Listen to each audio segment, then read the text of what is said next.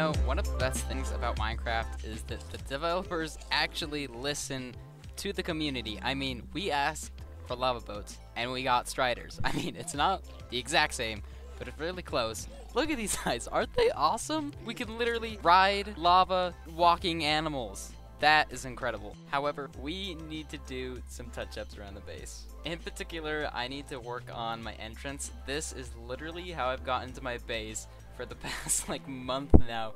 It's it's not the best way because I can fall off the cliff, I can miss the ladder, I can miss the jumps. Pretty much anything bad can happen and I really just need to fix it. We need to do it the right way though. We can't just go to town carving out the mountain. Even though that might look like what I'm doing right now, I'm trying to carve out about half the width that we'll actually need. Maybe a little bit more because we might have some decorations on the side uh, and just stuff like that but we'll probably go in two or three blocks like this, maybe one more layer on the side, kind of like this. That way we can get a nice path, some stairs.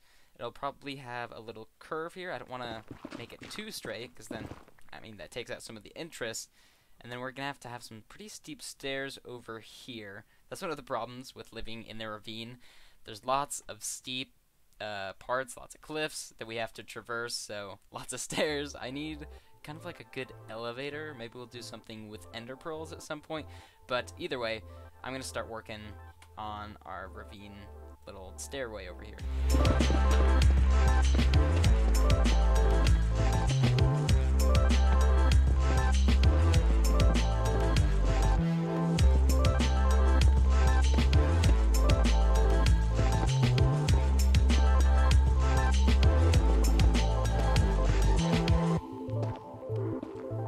Okay, so the basic shape is in now, and I'm, I'm really liking this. It kind of winds and twists around. It goes down to two blocks here, but I think overall it's pretty good.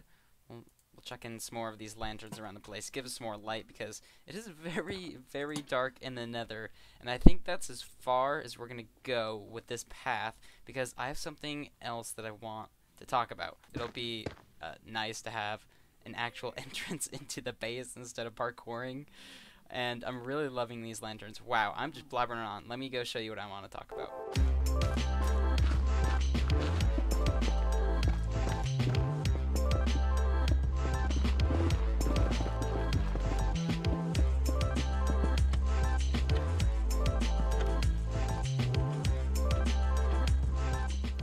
This section of the video is me attempting to explain YouTuber burnout.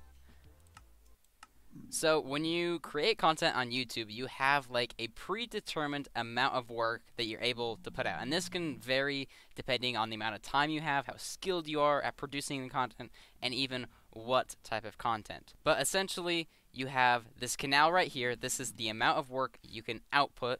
And so this lava is going to represent the work that you can put out. I like to call this the workflow. So when you first begin YouTube, your workflow is amazing. The canal that holds all of the work that's flowing into YouTube is pristine. It's quartz. It's so nice and super exciting. However, this quickly wears off and you start to lose that quartz and it turns into basalt. Basalt is fine and all and it works perfectly well and as you can see, the workflow is still where it's at. It's just not as exciting anymore because you've gotten used to it. This basalt lasts for a very long time and it's super sturdy as you can see, very structurally sound. However, this too can change and it starts to erode. If you don't take breaks and you just keep pushing and pushing, eventually this canal is going to start to break away. It's going to start to turn into the regular basalt and this is where you start to have problems. It might not show at first, but as it starts to degrade more and more, you start to lose some of that productivity and it starts to get clogged up. and it can even burn you, apparently.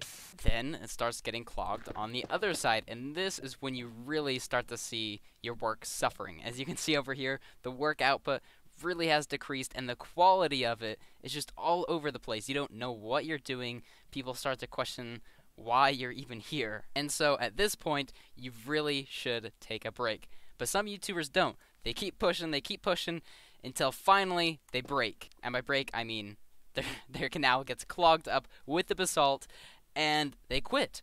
This is what I think YouTuber burnout is like. And so you really need to take some time to give yourself a break. You need to clean out those canals so that your workflow can really start improving, get back to where you were so you can produce the content that you need.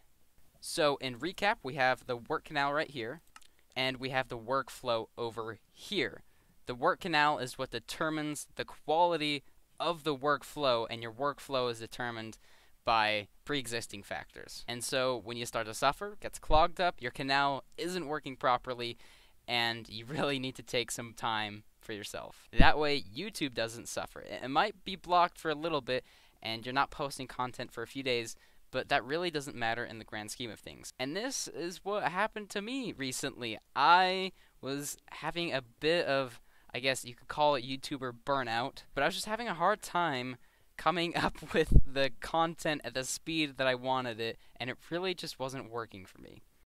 I just can't find the motivation to do what I want to do. So, like everybody else, I decided to take a break. Now, this break wasn't super long. It wasn't even like disconnecting from social media all the way. I just took a few days off to clean my canal and got it back to this basalt. And those few days were amazing. I really haven't taken a break from YouTube ever since I started it, and this was a well deserved, well needed break. I actually recorded this before that break but now it's done. So we're getting back on the YouTube grind.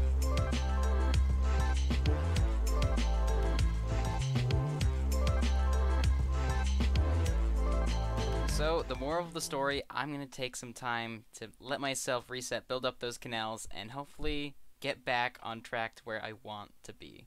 And one of the things I wanted to ask you guys was, what do you like better? Do you like Vanillium for the flooring, or do you like the plain Netherrack? I'm kind of undecided at this point, and I would like some input if that would be cool. I guess I haven't really shown this off well either. This is just a little bridge that I made. We have the trapdoors for the railings. I think it's a nice, neat little bridge. I'll experiment with a couple other designs. Oh, and uh, I totally forgot to mention this. We have gravel behind all of the chests now. So if we look back there, all the gravel, I think that was a really helpful touch. Uh, we're going to do that more, use gravel a lot more, because we get it for free from the piglins, which is really nice. I don't know if anybody even builds with gravel nowadays. Like, do you guys know of anybody that builds with gravel? Not like concrete, but the gravel itself. Well, the eggs are apparently not working. This guy is definitely not tracking that egg. He's just walking over my pressure plates. This is a big problem. I need to get them to stop walking over the pressure plates. It's so annoying. I put an egg here with the, the usual trap door trick, but it's not really working. But for now, I want to experiment with making an arch real quick. How do we have it like this? Uh-huh. Is that too tall? That might be a little bit too tall. I think we're to have like a, a pathway going along the edge right here as well to kind of... Yeah, this is a really nice view. In fact, I, I actually really like this. So I was thinking we'd have trim going along the edges, kind of like this. Wherever there's an edge, we have this trim. Maybe I'll push it out one block. Kind of like what we got going on with the stairs down there. And speaking of these stairs down here, I wanted to try out some design features as well. So I did, like I said, I want to try and use the gravel a bit more. Maybe we'll push it back one block, and I think we're going to pair it up with the basalt because I, I really love basalt. It's like my favorite block ever. So yeah, I think we'll push the gravel back one block, and I also wanted to try adding some more soul sand. That way we can put nether warts on it and get a little bit of color in the place. So that might be kind of cool. You know, kind of how we worked it in up at the pigman farm up there, which is kind of cool. So I'll do a little bit of work here, and I'll show you what it looks like.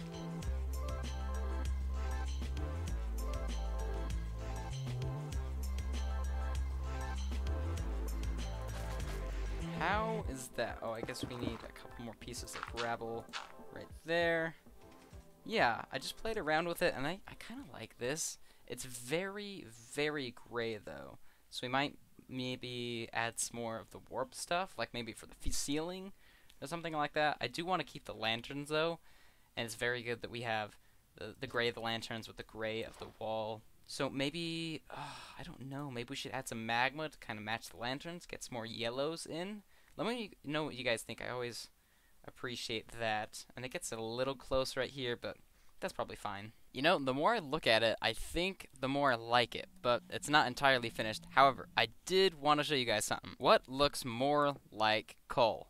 I mean, personally, I'm going to go with the Blackstone all day. This looks so much more like coal. You can actually see the chunks of it.